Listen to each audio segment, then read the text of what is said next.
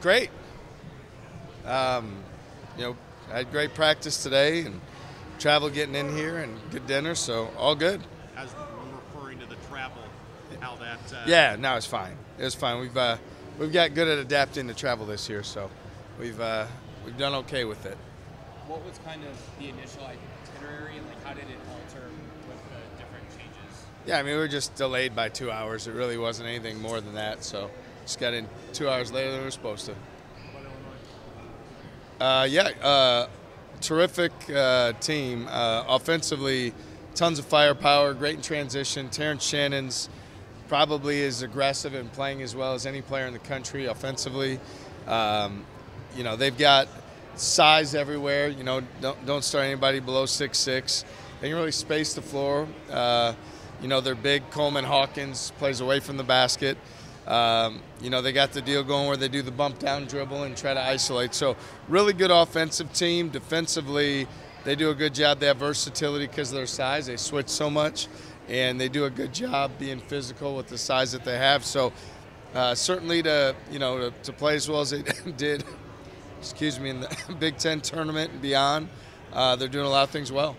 How's Shannon different than you, you saw him a couple times your first season here at Texas Tech? How's he different now at Illinois?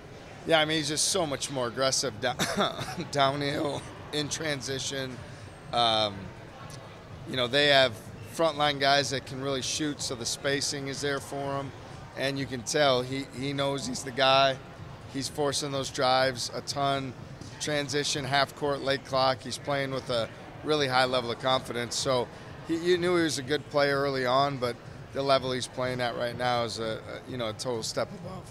Their offense tries to really take advantage of opposing teams' defenses, matchups that maybe go in their favor. Have you guys seen any groups that you feel like maybe try and attack you in a similar way?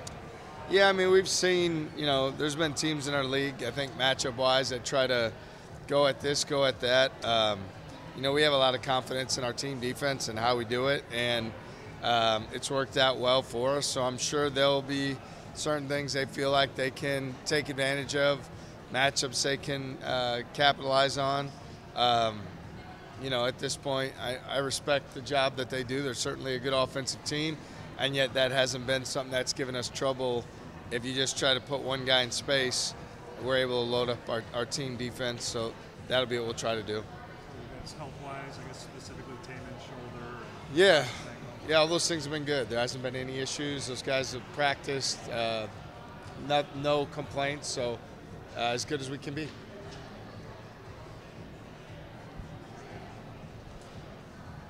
Perfect. They're a team without a true point guard. Um, it's starting anyway. Um, how does that affect the game? Well, I think you know they they still even though you know they don't have a true point Domask will initiate a lot of offense with the back down dribble. Um, multiple guys initiate offense for them in transition when they advance it. So um, I'd say they do a really good job moving the basketball, and different guys create the advantage. So it's not as their offense isn't dependent on one guy to try to make plays off the dribble or in pick and roll. So, um, you know, they, they're able to space you more probably because of that and balance, you know, their offensive attack. I think Dain Dainja has missed a shot in the two tournament games. What have you seen that's allowed him to have success so far? Well, you can't let him get deep catches. You know, if he gets it in the paint or by the basket, um, certainly really good. He's physical. He's attacks the rim. So, um, you know, we we can't let him get dump downs, offensive rebounds, deep post seals, those type of things. Make him catch it away from the goal best we can, and and then try to, you know, bring the help when we when we need to.